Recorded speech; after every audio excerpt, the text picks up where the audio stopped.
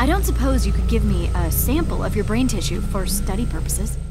Oh, Doctor, by the time the students go through these exploration goals and the challenge missions that this video helps them with, they'll have brains so big they'll have plenty extra tissue for you to sample.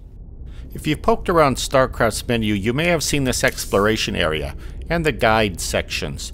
There are a set of goals for each of these guides. Guide 1 um, has a set of goals that have you doing a few AI games, three cooperative games, and then three challenge missions, which are sort of tutorial missions, and you've done the goals for Guide 1.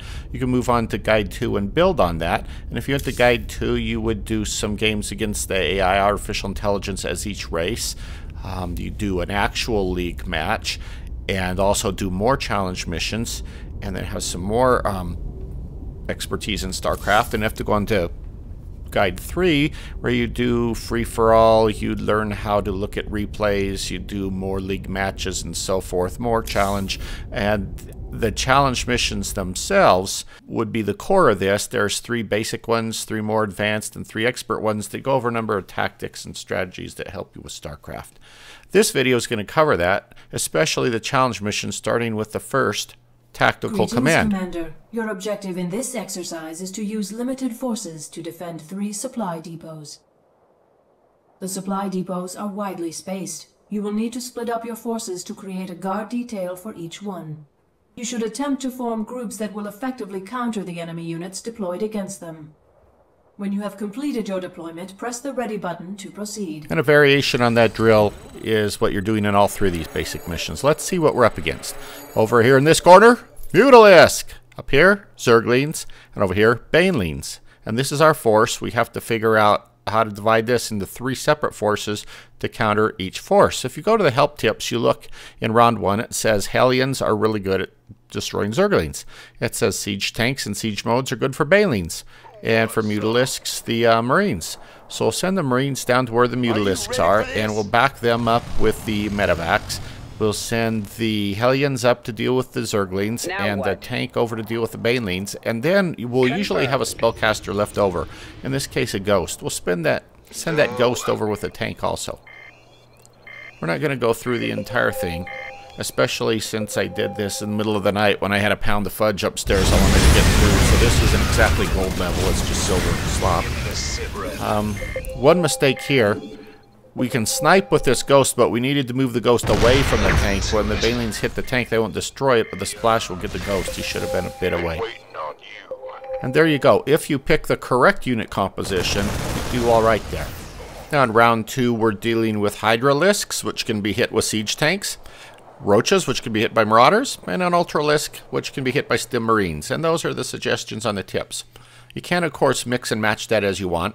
These tips will get you to complete the um, level, but if you want silver gold, you're going to have to fiddle with that maybe a little, mix and match, and certainly work on your micro. Micro involves placement and use of individual units, possibly pulling back injured units and so forth. Going into round three, we have this force, which will face Mutalisks, Broodlords and Zerglings, and Hydralisks and Roaches.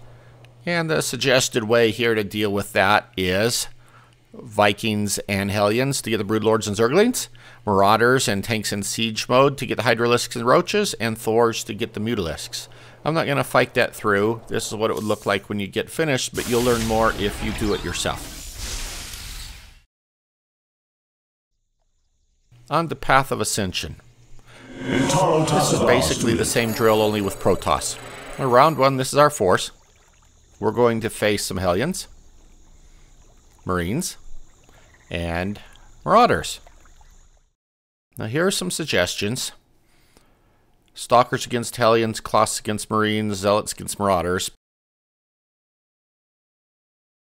Note also that there are ledges here. And also we're going to have a spellcaster. I'll show you one thing I like to do. I like to put my Colossi up on a ledge, maybe Guardian shield my sentry, and then have it put down force fields to essentially funnel the troops into the range of the um, Colossi. On to round two, we're going to face Thors. Going to face a large body of tanks, and also some battle cruisers.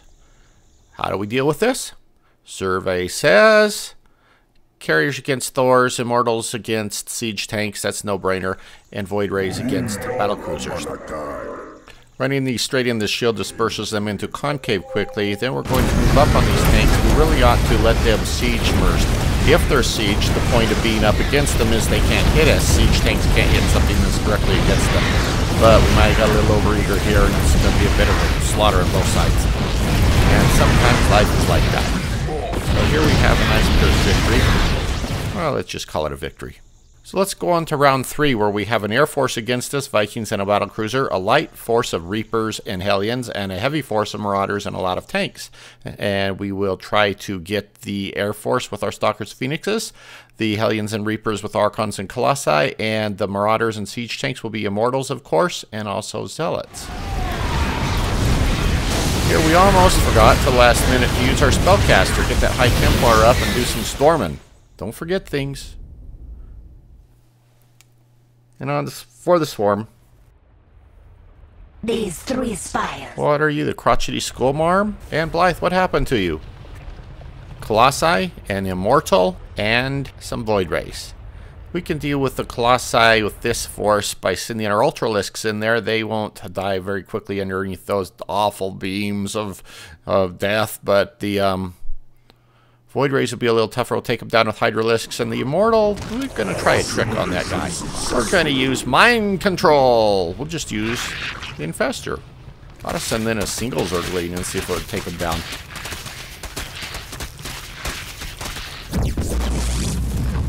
And that was fun. Round two. Going to have a lot of Zealots, some Void Rays, and some Stalkers. We can deal with those with um, Roaches after the Zealots, Mutalisks after the Void Rays, and Ultralisks after the Stalkers. Now this part involves regenerating the roaches. They do that when they're burrowed. So when they get down to orange, drop them down into the ground, let them get green, pop them up. Drop and pop, drop and pop. In round three, there are Stalkers and Immortals, Archons and Zealots, and a small air force of carriers.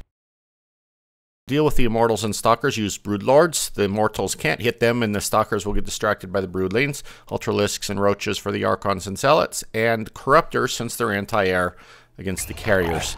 Now, don't forget that your spellcaster here can do more than mind control, can do fungal growth or infested terrans as you see fit. Give me the sit rep. Well, we're going to use the ability of specialized units to chip away at an enemy force. You sure about that? Sure am. We'll be doing that with each of the three races, starting here in Covert Ops with Ghosts and Ravens. We need to use these carefully, and we'll begin by sneaking up on these two detectors up here, the two spore crawlers, and hitting them from a far enough away distance that they can't spot the ghost and, and attack um, using those uh, near Zerg units. And while we're doing that, we may send someone over cloaked to this far right hand uh, site and nuke it. And as we do that, we'll find a couple of little clusters of units. We can cloak more ghosts and send them over to hit. Um, as we nuke the one site, we'll be able then to move up to the wall and look down over and see a lot of units and target them and nuke them also. Ooh, yeah. It does help to be rep. cloaked. However you do it, you need to do it carefully and methodically. Here, we're going to use a point defense drone laid down by the Raven to frustrate that Hydralisk. We're going to fire a single missile at that Overseer to kill it and anything around it. And we're simultaneously going to nuke these drones. That's what I call a productive day. But we need to move on. We can use um, our Ravens to drop guns and, and whatever we want. Psionic Assault, kind of the same drill, only this time with Protoss and their special A abilities. Protoss warrior must learn to fight enemies as numerous as the stars in the sky. Wow. Use terrain on the battlefield to your advantage. Fight only when your superior warcraft will even the I odds. what? All right.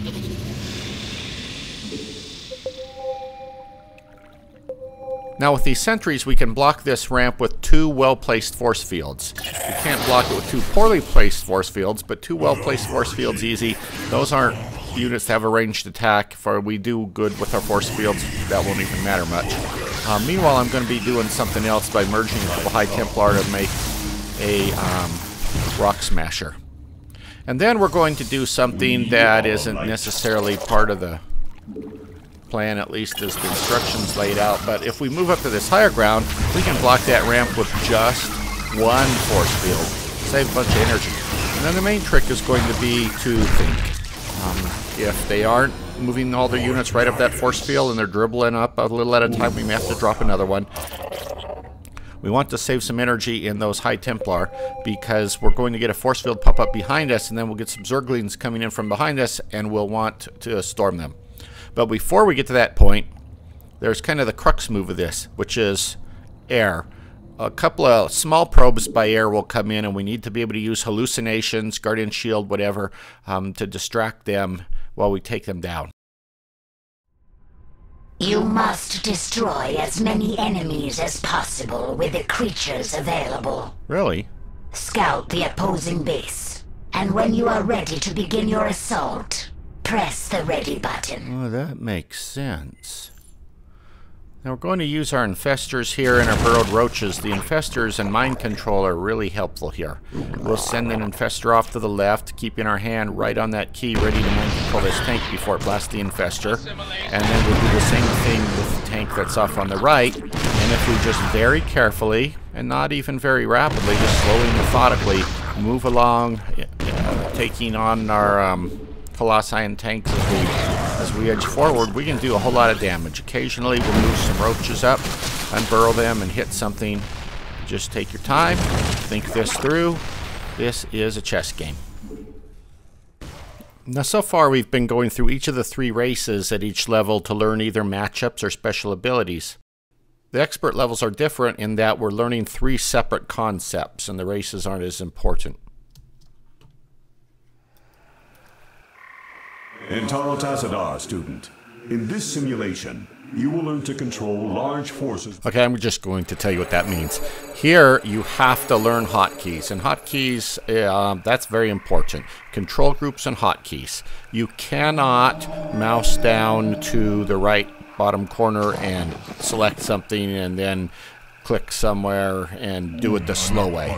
You have to know, um, for instance, what key to press to get production out of a building and what key to press to select a unit and what key to press to do whatever sort of spell you want to cast and so forth.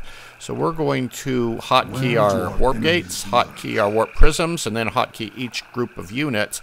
We gave one hotkey to the um, High Templar and the Sentries, and if we select that group, we can just switch back and forth between those two units with the tab key.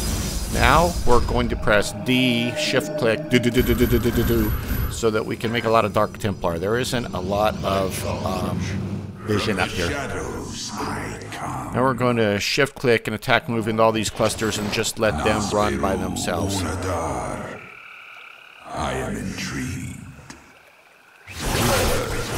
Now using control keys, I can direct the carriers to both build interceptors using the I key and attack some areas right here to the right without even looking at them, just using the mini-map and the keys. It's a little bit harder with our next group, which would be the Stalkers, because they require some management. You've got to blink them up, hopefully better than that, get everything on this ledge, blink them down the next ledge, then move them forward.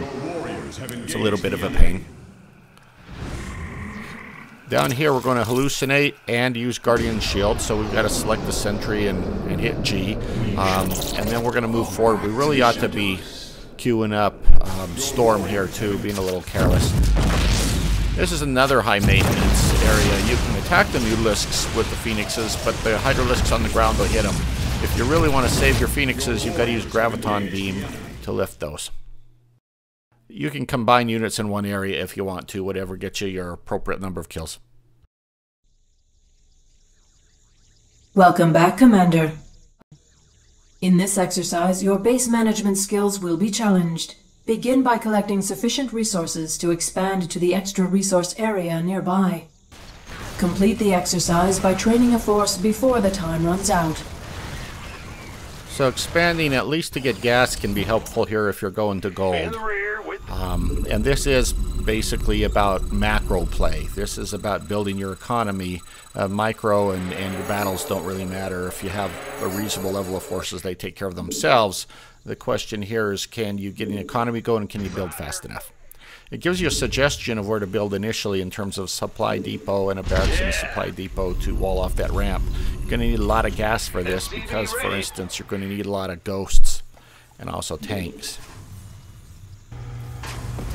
Now I like to send another SCV over to close off that ramp instead of waiting for the barracks to be finished and then continue to get the economy going.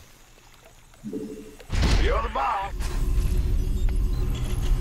At this point we haven't been rushed yet, but we will be soon.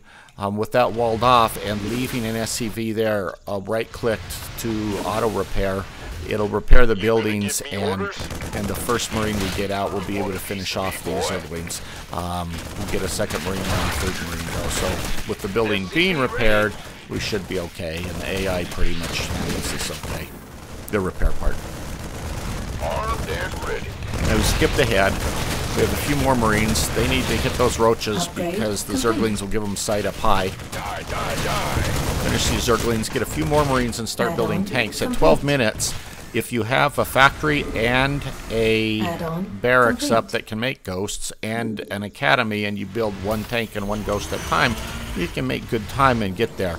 If you're waiting and you're going to build your economy and then try to do crash build toward the end, um, you're going to need a bunch more buildings in the last few minutes. Here we'll build a command center and then float it down. It is safe to build down here if you have some tanks up on the ledge, although it is good to move some troops down to the right side perhaps after they deal with the raid by mutalisks that will come early in the mission. Good afternoon, Commander. In this exercise, you must defend all of your structures against a variety of enemy attacks. In order to succeed, you will need to use your SCVs to repair your structures and to fight back against the aggressors. Alrighty, so this is pretty much standard. You're going to get a Zerg 6 pool rush here pretty quick, and you need to be able to deal with it. Um, six Zerglings, then a couple more, then a couple more, and then, then as they build up their economy slowly, they add more. And for the first part of this, you just need to kill off a, the requisite number of Zerglings. Yeah, whatever. Go ahead. Um, you can see the strategy here, and we have a Marine coming. Since the Marine isn't out yet, we're going to use the SCVs to attack, and the SCVs won't do that automatically. You've got to command them, and that's kind of the point of this exercise. I'm going. SCV ready. And be sure to get them back on task.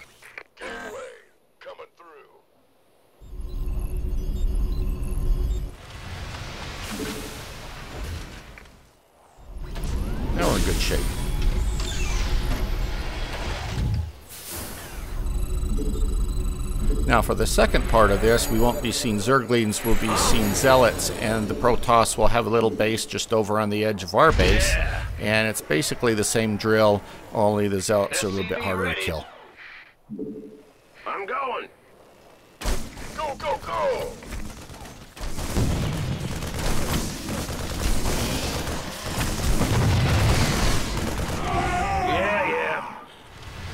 And we have to go over and actually destroy their base, so we're going to have to build up a force. Um, one decent way to do that is by leapfrogging bunkers. Build bunkers close enough to your original bunker that the Marines in the bunker can cover it as it's being built. Um, then move Marines up into it, and if you want to, you can empty the bunker behind it, move them into the new bunker, and then salvage that bunker to get some more points.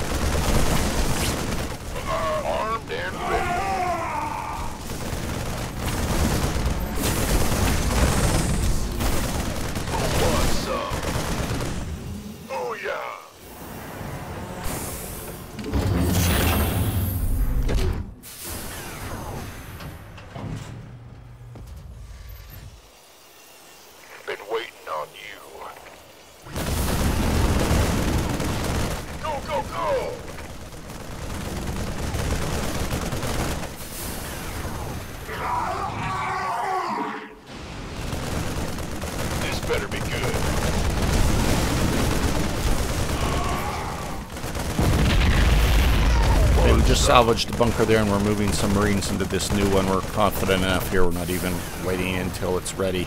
Um, note that if you were to try to rush right in behind that tree line, there would be a cannon down there. And until this lower pylon goes, that cannon can still whack you. So those are the challenge missions. Do those if you want, especially if you're new to StarCraft. And then you certainly don't have to do Guide 1, Guide 2, Guide 3, but you do need to have the skills that are listed there essentially as goals if you want to be any good at StarCraft, especially if you want to be a pro gamer. In that case, you definitely need to plug away and away and away. Over the same old